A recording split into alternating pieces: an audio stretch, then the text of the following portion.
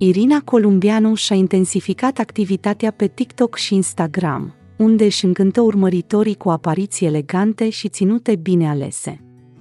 Ultimul clip postat de adolescentă a generat un val de complimente, frumoasă ca mama ei. Sau ai picioare perfecte.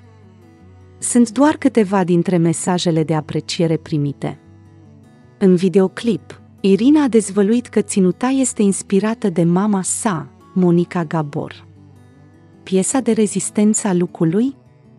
O geantă Hermes Birkin 40, al cărei preț ajunge la impresionanta sumă de 30.000 de euro. Apariția ei a fost văzută și de Ilinca Vandici și Teo Trandafir, care au făcut comentarii în emisiunea Follow Us de la canal de Ilinca Vandici. Țineți voi minte!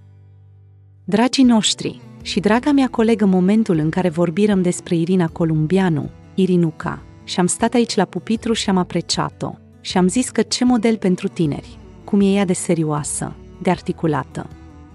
Și ție ți-a plăcut că era respectuoasă, că era la locul ei. Ce vedem pe Instagram? Iată, Teo Trandafir. Frumoasă e, înaltă e, la picioare seamănă cu mami. Ilinca Vandici. Corect. Dar are o geantă mai mare ca ea. Și ce? Ilinca Vandici. Costă 30.000 de euro sau în jur de 30.000 de euro. Teo Trandafir. Dar nu e a ei.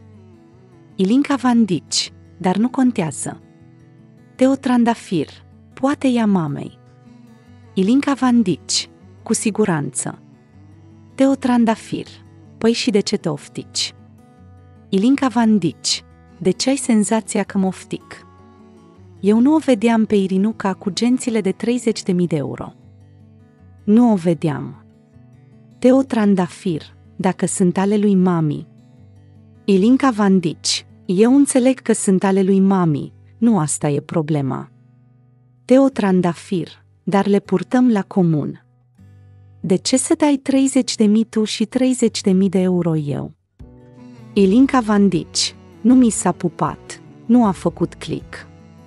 Știi imaginea despre care am tot vorbit noi în cadrul emisiunii, pac și acum, asta cu geanta, nu am spus că nu îmi place, Teo Trandafir, nu înțeleg geanta, dar o înțeleg pe ea, dar ce face geanta asta de costă 30 de mii? Ilinca Vandici, te mănâncă. Da. Este o clasică în viață, e din dimensiunea maxi de la un brand foarte cunoscut și practic în cap cu totul în ea.